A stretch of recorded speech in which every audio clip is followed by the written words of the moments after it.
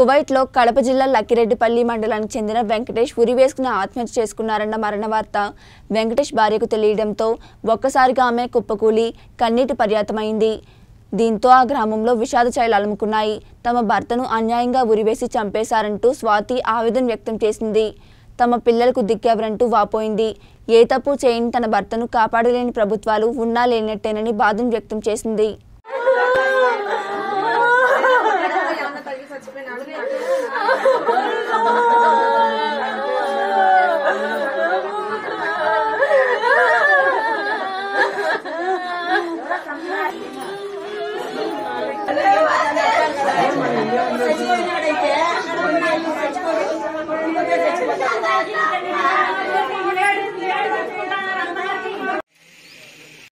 మా బాబు చనిపోయినాడు.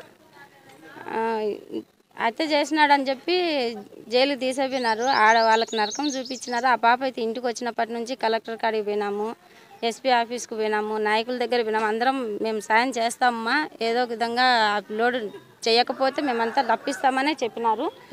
ఇట్లా ఈ ప్రాసెస్లోనే అప్లోడ్ చనిపోయినాడు. ఇప్పుడు చ- చనిపోయినాడు అంటారు అందులో జైల్లో చనిపోవటం అంటే జైల్లో అక్కడ ఫింగర్ పడితేనే బట్టలు కూడా నీకుండా తీసుకుపోతారంట రూమ్లోకి ఒక రూమ్లోకి అట్లాంటి దా చోట మంచానికి ఊరేసుకొని చనిపోయినాడు అనే విషయం అయితే చాలా దారుణము. మంచం కాదు బట్టలే ఉన్న వాళ్ళు మంచము బెడ్షీట్లు అవన్నీ ఎందుకు ఉంచుతారు? బెడ్షీట్తో ఊరేసుకున్నారంటే అది ఎంతవరకు కరెక్టో మాకైతే అర్థం కాలే. దీని ఈ పిల్లోడు చనిపోయిన దాంట్లో మాకైతే అనుమానం ఉంది ఆ పిల్లోడు చనిపోయినారా? పోలీసు వాళ్ళు చంపేసినారా అనేది ఎంక్వైరీ జరిగితే ఏమన్నా నిజాలు బయటపడితే మా గవర్నమెంట్కి మాకు ఏదైనా చెడ్డ పేరు వస్తుందని ఆ పిల్లని చంపేసినట్టున్నారు. మాకు ఇదైతే పక్కా అనుమానము ఆ డెడ్ బాడీనన్నా మాకు చూపిస్తే నా చిన్న బిడ్డలు ఆరు సంవత్సరాలు మూడు సంవత్సరాల బిడ్డలు ఆ పిల్లోడు మూడేళ్ళు అయింది. చిన్న కొడుకు చూడను కూడా లేదు ఇంకా. అదైతే చాలా దారుణము. వాళ్ళ తల్లిదండ్రులకి ఎవ్వరు లేరు ఒకడు కొడుకు. దీనివల్ల మాకు నేను మా కోడలు వాళ్ళ చెల్లెలు మా కోడలు. మా అబ్బాయి కోవిడ్ పోయి మూడు సంవత్సరాలు అయింది సార్. మూడు సంవత్సరాల్లో వాడు అక్కడ ఉండి భార్యను తెప్పించుకున్నాడు. భార్య తెచ్చుకుని ఒక సంవత్సరం పోయిన ఒక సంవత్సరానికి ఇంటికి వచ్చి ఆమె భార్యను తీసుకున్నాడు ఆమె రెండేళ్ళు చేసింది. ఈ కొడుకు రెండేళ్ళు ఇంతలోనే వానికి ఆమెన చేయని నేరానికి ఆమెన నెత్తి మోపినారు. ఆ ఇంట్లో పని మనుషులు ముందు ఒక సంవత్సరం మా కోటలో పని చేసింది ఆ ఇంటి వాళ్ళ ఇంట్లో ఒక ఇద్దరు కద్దాములు ఉండి ఒక మంచి జీతం ఇచ్చాను ఒక మంచి వీలు ఇచ్చుకోలేని పరిస్థితుల్లో వాళ్ళు బయటకు ఏరే కఫీలకు తనాజులు ఇచ్చినారు. ఇచ్చిన తర్వాత కొడుకు ఒక తాన కోడలు ఒక తాను చేసుకుంటానిది ఆ ఇంట్లో పని మంచి లేని దానివల్ల మా వాడిని ఇజా ఇస్తామని పిల్లంపి ఆమెన ఆ సీసీ కెమెరాలు ఆ ఇంటోటి కూడా కాదు ఏరో పట్టుకున్నారు. హత్య చేసినప్పుడు కానీ ఏమైనా ఏదైనా కానీ రుజువు ఏర్పరచలేదు. హత్య చేసినప్పుడు కూడా రుజువు ఏర్పరచలేదు.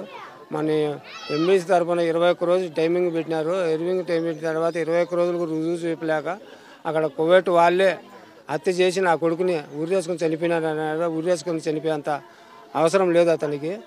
ఇది వాళ్ళే చేసినారు. ఇది ఇది వాళ్ళు చేసి ఇట్టయితే ఇండియా మీద దొబ్బచ్చు ఇండియన్ మీద దొబ్బచ్చు ఈ కేసు అని వాళ్ళకు భద్రత వాళ్ళు కాపాడుకునేదానికి కువైట్ వాళ్ళు చేసినారు. ఇప్పుడు నా కొడుకు మూడు హత్యలు చేసి ఉంటే గన నిర్దోషి నిరూపించింటే గన ముగ్గురు ప్రాణాలకు ఒక ప్రాణం పోయినా పోతే పోనీ అని నేను స్వతంత్రంగా నేను ఒప్పుకునేటోడిని. అటువంటి వాడిని ఆమెను ఆమెను మాకు ఏం ఇన్ఫర్మేషన్ తెలపకుండా అప్పుడు పోలీస్ స్టేషన్లో వచ్చి పోలీస్ స్టేషన్లో డబుల్ కాటు అదేందో మంచాలు పెడతారంట. నేను కూడా ఒక సౌదీ దేశంలో చేసినోడిని. అక్కడ అకామం లేని వాళ్ళని ఎంబీసీలో పోలీసులు నుంచి పట్టపోతే ఆమెను వాళ్ళకి భద్రత నేను కూడా పోయి వాళ్ళకి ఏదైనా వాళ్ళకి ఏమైనా డబ్బులు పనులు చేసిండే డబ్బులు కానీ ఏమైనా బట్టలు కానీ అత్తపోయి నేను వాళ్ళకి ఇచ్చి అంత సహాయం చేసినని ఆడికి పోయి చూసి వాళ్ళ పరిస్థితి చూసినా నేను స్టేషన్లో పోయినప్పుడు పర్మిషన్ ఇచ్చిన అకామ్ ఉన్నప్పుడు నేను పోయినప్పుడు చూసిన ఆడ ఒక గ్లాస్ మాత్రమే డోర్కి పెడతారు. హత్య చేసిన వానికి ఎవరికే కానీ ఎంత హత్య చేసిన వానికి కాదు పలు ఒకరిని కూడా నేరస్తుడు అనేవానికి మంచాలు ఇవ్వటం అంట బెడ్లు వేసి పరపెట్టడం అంట అదంతా అవుతుంది సార్ అది. ఏమైనా మాత్రం బాత్రూమ్ ఒకటి ఉంటుంది.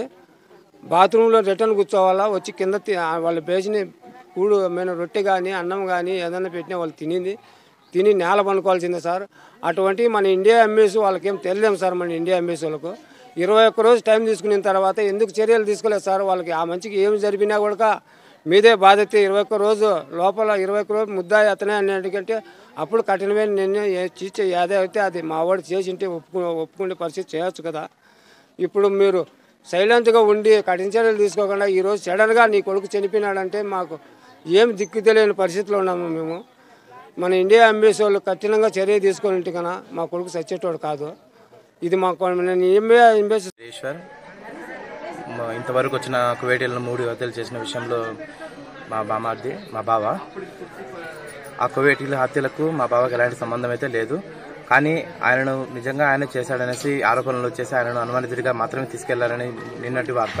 అంతకుముందు మాత్రము ఆయన చేశాడని మాత్రం ఫేస్బుక్లలో ఇట్లా యూట్యూబ్లలో వైరల్ అయిన విషయం తెలిసిందే. ఆ విషయం కొరకై వాళ్ళ భార్య మొన్న వచ్చినప్పటికీ నుంచి మేము ఇక్కడ నుంచి ఎస్పీ ఎస్పీ దగ్గర ఎస్పీ ఆఫీస్ దగ్గరికి కానీ కలెక్టర్ ఆఫీస్ దగ్గరికి అన్ని చోట్లకి వెళ్ళాము. కానీ అక్కడి నుంచి అయితే మాకు ఎలాంటి సమాచారం అయితే లేదు సార్. ఉన్నది చెప్తున్నాము. కానీ ఇంకోటి ఏంటంటే ఈరోజు ఆయన చనిపోయాడు అనేసి మాకు వార్త వచ్చింది. ఆయన ఫోటో ఒకటి పెట్టారు. కానీ ఆయన హత్య వెనుక మాకైతే అనుమానం ఉంది. ఆయన సూసైడ్ చేసుకునేంత పిరికోడైతే కాదు. చనిపోయినాడో చంపేశారో మాకు తెలియదు కానీ ఖచ్చితంగా మాత్రం న్యాయం జరగాలి. రాష్ట్ర ప్రభుత్వం కానీ కేంద్ర ప్రభుత్వం కానీ ఇప్పుడైనా చూడండి బీద కుటుంబము ఇద్దరు బిడ్డలు సన్న బిడ్డలు ఉన్నారు తల్లిదండ్రులు ముసలి వాళ్ళు వాళ్ళ వరకు ఆలోచించి ఏదైనా మీరు మీరు ప్రభుత్వం తరఫున తరపున ఎలాంటి సహకారమైన అందించండి. ఆయన హత్య చేయలేదని మా అనుమానం. ఆయన మాత్రం హత్య చేయబడ్డాడని కూడా కూడా అనుమానము. దయచేసి మీ మీడియా వాళ్ళ తరపు నుంచి ప్రభుత్వం కోరుతున్నది ఒకటే. ఆయన కుటుంబానికి ఎలాగైనా న్యాయం జరగాలని కోరుతున్నాను. ఇక వెళ్ళాం సార్ కలెక్టర్ నుంచి ఇక్కడ ఎస్పీ ఆఫీసర్ దగ్గర. ఖచ్చితంగా న్యాయం అయితే చేస్తామన్నారు. కానీ వెళ్ళినప్పటి తర్వాత ఒక్క మాట వరకే. కానీ చేయలేదు.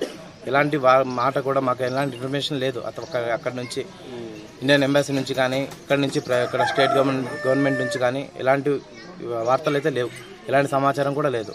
కానీ ఈరోజు మాత్రము హత్య చేయబడ్డాడు.